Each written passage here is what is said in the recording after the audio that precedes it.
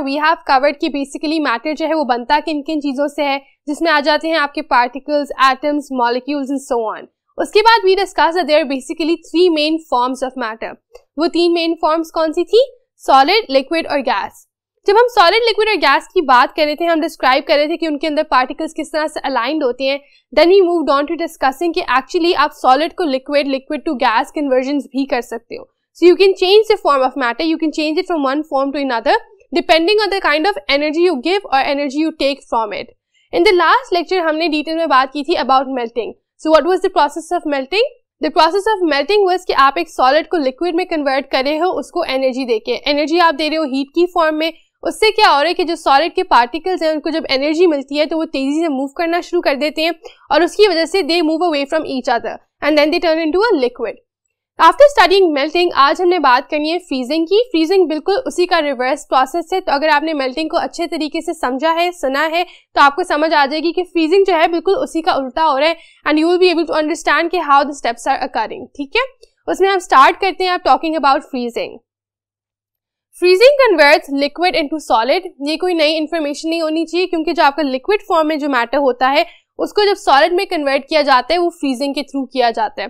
और freezing basically उसको cool down करके, यानी अगर आप एक लिक्विड को कूल डाउन करेंगे तो वो सॉलिड में तब्दील हो जाएगा and this process is known as freezing it does so by taking away energy so it is the opposite of melting जिस लाइक वी डिस्कस कि ये ऑपोजिट होता है मेल्टिंग का, क्यों? क्योंकि मेल्टिंग में आप एनर्जी देते हो सब्सटेंस को, और इसमें आप उससे एनर्जी ले लेते हो, कम कर देते हो। इससे फ़र्क क्या पड़ेगा कि लिक्विड जो पार्टिकल्स होते हैं, उनके अंदर ऑब्वियसली ज़्यादा एनर्जी होती है। सॉलिड की नस्बत उनके दरमियान स्पेसेस होती हैं वो इधर उधर घूम रहे होते हैं देर अलाउड टू मूव जब आप उनसे वो एनर्जी ले लोगे तो क्या होगा? तो वो पार्टिकल्स मूव नहीं कर पाएँगे. वो अपनी जगह पर फिक्स हो जाएँगे एक जगह पर आकर अलाइन हो जाएँगे और वो क्या बन जाएँगे? बिल्कुल सॉलिड पार्टिकल्स की तरह बन जाएँगे. आगे अगर आप देख रहे हैं When a liquid is frozen, the particles stop moving and come closer together until a solid is formed. So like I just said जब आप लिक्विड को ठंडा करते हो, उसको कूल cool डाउन करते हो तो क्या होता है? उसके पार्टिकल्स जो हैं, वो मूव करना बंद कर देते हैं। एक दूसरे के बिल्कुल करीब आ जाते हैं और एक सॉलिड की तरह बन जाते हैं। अनटिल वो सॉलिड बन जाए, तब तक पार्टिकल्स क्लोज आते रहते हैं। And once they're all together जब वो साथ आ गए, वो मूवमेंट करना बंद कर गए तो वो क्या बन गए? They became solids this is the conversion between liquid to a solid let's go see a little more about it is well यहाँ पर हमने फर्दर इलेबोरेट किया है कि जो लिक्विड है, जब वो फ्रीज होता है, जब वो कन्वर्ट होता है बेसिकली उसका भी एक फ्रीजिंग पॉइंट होता है। उसी तरह जिस तरह ऑब्जेक्ट्स के मेल्टिंग पॉइंट होते हैं, ठीक है, कि उस टेम्परेचर पे, एक सर्टेन टेम्परेचर पे ही वो मेल्ट करते हैं, वरना उसके अलावा वो मेल्ट नहीं करते। In the same way objects के फ्रीजिंग पॉइंट्स भी होते हैं, ठीक है? So no substance will melt और freeze until the reach certain temperature जो उनका मेल्टिंग या फ्रीजिंग पॉइंट है। अगर आप यहाँ पर देखो all liquids have a freezing point. When the temperature falls below this point, the liquid freezes. तो जो उसका फ्रीजिंग पॉइंट है, वो ऑब्वियसली लो होगा, ठीक है? क्योंकि ठंड और कूल करने से सब्सटेंस को आप उसको सॉलिड में कन्वर्ट करते हो। तो उसके फ्रीजिंग पॉइंट से जैसे ही टेम्परेचर नीचे जाना शुरू होता है, वो सब्सटेंस जो है, वो फ्रीज होना शुरू कर देता है। इसमें एग्ज़ाम्पल उन्होंने दी हुई आपको वैक्स की। वैक्स की एग्ज़ाम्पल मैंने आपको पिछली क्लास में भी दी थी। सो वट देर सेंगे इसके वैक्स जो है, वो मेल्ट होती है 60 डिग्रीज पे। जब आप वैक्स के ऊपर एक फ्लेम चलाते हो 60 डिग्रीज पे जैसे ही पहुँचती है तो ऊपर से मोमबत्ती की जो वैक्स है, वो मेल्ट होना शुरू हो जाती है। लेकिन जैसे वो नीचे जा रही होती है, दरमियान में वो फ्रीज हो जाती है। हाउ स्ट्रेंज की अभी वो नीचे भी नहीं पहुँची होती, पूरी तरह से उसके कंटेनर पर भी नहीं गिरी होती। रास्ते में वो फ्रीज हो जाती है। उसकी वजह क्या है? क्योंकि as soon as it moves away from the flame जैसे ही वो फ्लेम से आग से थोड़ा सा दूर होती है टेम्परेचर जो है वो 60 डिग्री से नीचे गिर जाता है या 60 डिग्रीज पे वापस आ जाता है। And what happens the wax freezes right there तो उसका जो मेल्टिंग पॉइंट है, उसका जो फ्रीजिंग पॉइंट है that is around 60 degrees 60 degrees से आप जैसे ही नीचे जाओगे वैक्स जो है वापस फ्रीज कर जाएगी। Over here, what we've done is, we've drawn a diagram. आप देख सकते हो कि लिक्विड के जो पार्टिकल्स हैं, वो थोड़े थोड़े दूर दूर हैं, उनके दरमियान स्पेसेस हैं, जिसकी वजह से they have the freedom to move बल्कि वो कन्वर्ट हो जाते हैं एक सॉलिड में, जिसके दरमियान स्पेसेस नहीं है, जिसके पार्टिकल्स जो है साथ जुड़े हुए हैं। क्या किया आपने? इस लिक्विड से एनर्जी ले ली है, इसको कूल cool डाउन कर दिया है और ये सॉलिड बना दिया जिसके पार्टिकल साथ जुड़े हुए हैं। So this is how you can explain how freezing works आगे देखिए the freezing point varies from different substances exactly वही बात आ गई कि फ्रीजिंग पॉइंट भी जो है वो सब मटेरियल्स का सेम नहीं होता। इस मार्कर का फ्रीजिंग पॉइंट डिफरेंट है आइस का फ्रीजिंग पॉइंट जो है वो डिफरेंट है वाटर का डिफरेंट है। So all different types of materials have different freezing points एक सर्टेन पॉइंट पे वो जाएँगे जो उनकी क्वालिटीज उनकी कैरेक्टरिस्टिक्स के हिसाब से उस उस तरह अलाइंड होगा कि फिर उस टेम्परेचर से नीचे वो फ्रीज होना शुरू हो जाएँगे। I hope you understood freezing क्योंकि अब हम बात करने लगे हैं कंडेंसेशन की and then will do some other exercises regarding freezing ताकि आपको वो और भी अच्छे तरीके से समझ आ जाए। Let's go What we have here is condensation. अब हम मेल्टिंग कर चुके हैं फ्रीजिंग कर चुके हैं, उसके बाद एक प्रोसेस आता है जिसको कहते हैं कंडेंसेशन कंडेंसेशन में क्या होता है?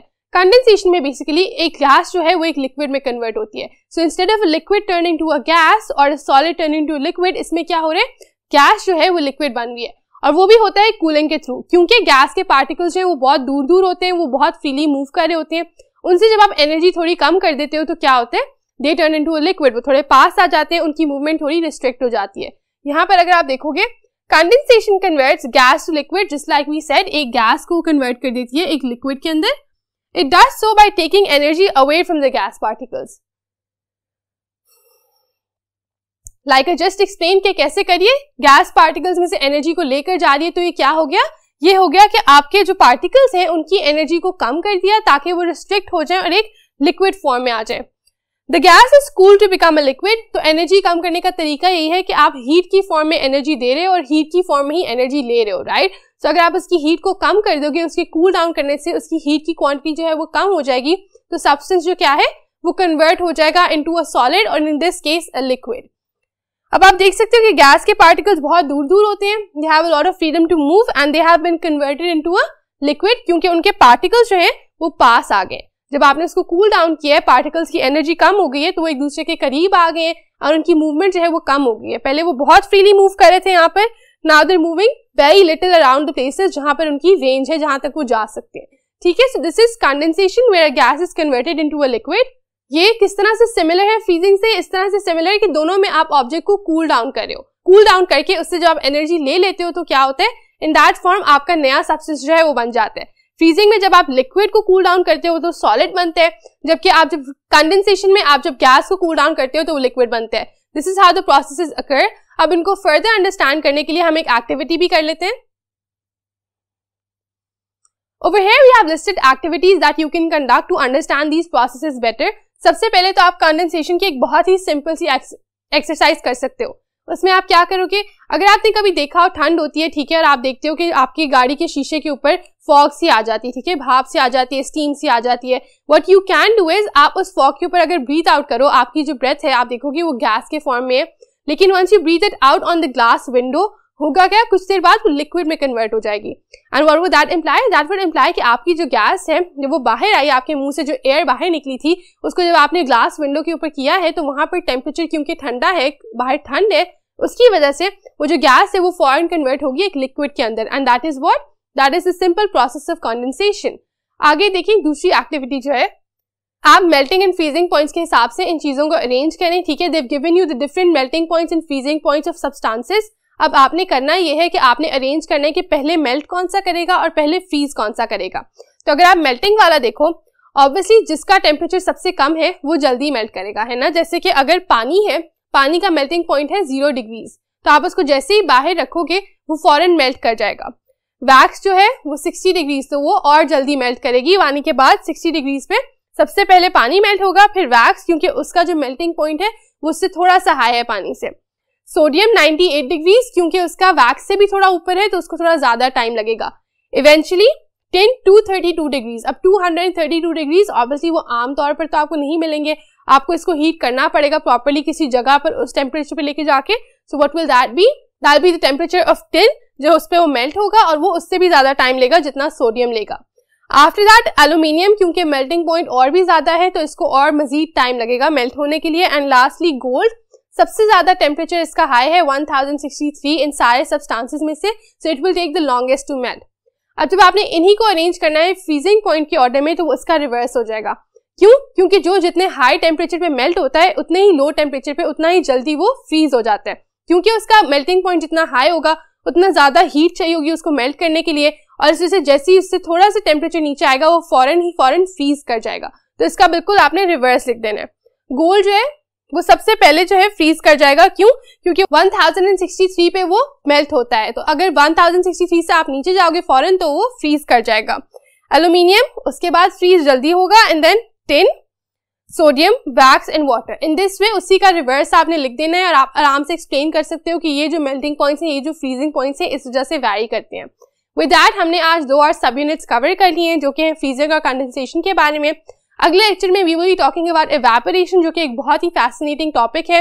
It is a very different way of movements and it is a different form of change of substance from one form to another ठीक है, जिसमें क्या हो रहा है? एक लिक्विड गैस में तब्दील हो रहा है। So I hope that you understand this topic clearly and then come for that one I will be looking forward to seeing you in the next lecture until then take care Allah Hafiz